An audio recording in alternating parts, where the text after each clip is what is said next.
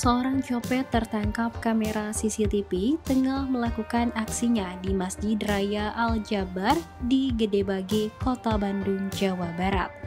Saat melakukan aksinya, copet itu menyamar menjadi seorang uhti lengkap dengan baju gamis, kerudung, dan cadar.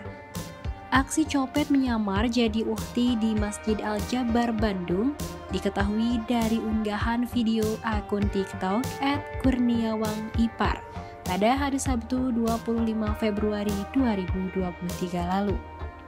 Dalam video yang ia unggah, terlihat seseorang menggunakan gamis dan kerudung berwarna hijau tengah diamankan oleh petugas. Petugas keamanan pun memeriksa KTP-nya. Tertulis atas nama MG, usia 24 tahun, warga asal Cisalatri, Kelurahan Cipadung, Kecamatan Cibiru, Kota Bandung. Uniknya, sang copet malah terlihat asyik menikmati sebatang rokok meski telah tertangkap basah dan dikelilingi oleh petugas. Pria dalam video menanyakan apakah saat sang copet Al-Jabar mengenakan cadar saat beroperasi. Sang pria lalu menyindir copet itu lantaran memakai baju syar'i namun kelakuannya malah bertolak belakang. Copet Al-Jabar ya. Aduh, copet Al-Jabar ya ini.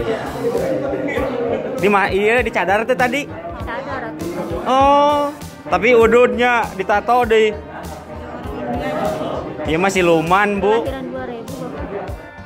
Dari informasi, copet tersebut mengambil dompet seorang pengunjung Masjid Al-Jabar dan telah diproses di kepolisian setempat. Namun, korban enggan membuat laporan polisi, sehingga pelaku hanya dikenakan wajib lapor.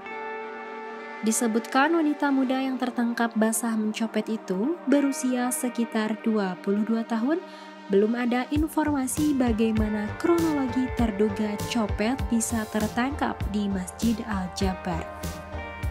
Unggahan video copet Al-Jabar yang menyamar jadi ukti itu mendapat beragam respon dari netizen. Ada yang berkomentar jika copet itu dalam keadaan mabuk. Ada pula yang mengaku pernah menjadi korban copet di Masjid Al-Jabar.